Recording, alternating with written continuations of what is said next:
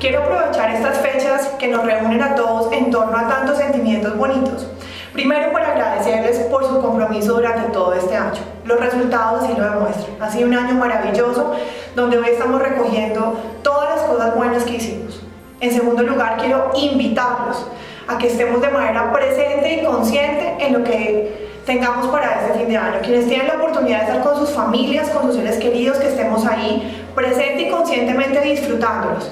Quienes van a estar en estas festividades de turno, van a estar trabajando mientras otros están descansando, también que lo hagan de manera consciente, que estén presentes, que aprovechen eh, los compañeros de trabajo, la camaradería que hace parte también de nuestros equipos de trabajo y estemos de manera presente y consciente.